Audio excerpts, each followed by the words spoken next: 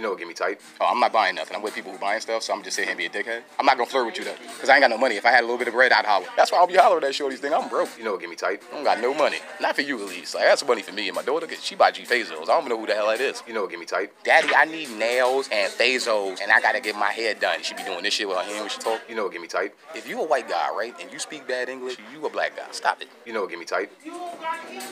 You know when somebody auntie in the house? Are you so loud?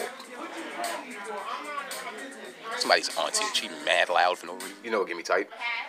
Hey, Fred Flintstone left, nigga. Nobody pays in cash anymore. Like, if you paying in cash, you are the only nigga doing that. Probably you still get a paycheck, and you cash your paycheck at the check cashing place, too. You know what get me tight? Yo, where are all these women with the big old asses coming from? Because that's all I've been seeing in this generation. Even grandmas got big old asses, bro. The lady that just walked by me big old ass. She got a little fupa. It's more ass than fupa. It be like that.